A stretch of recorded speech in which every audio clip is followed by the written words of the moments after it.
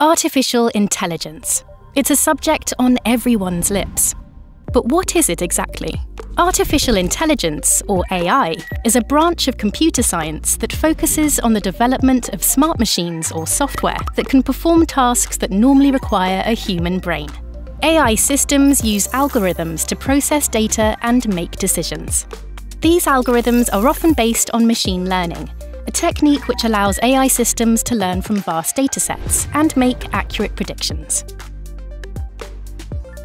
AI systems are widely used today in smart home devices that learn our preferences and habits, or through recommendations on search engines and social platforms.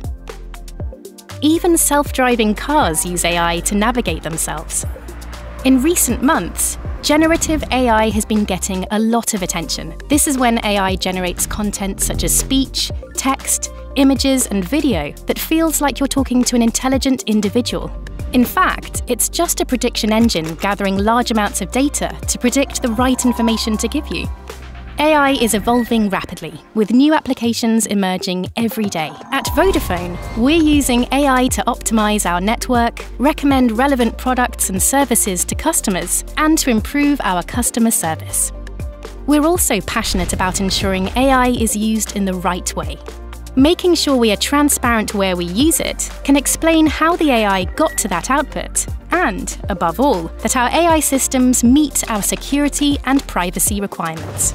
As AI develops, we're working to stay at the forefront of these developments to ensure it benefits our customers.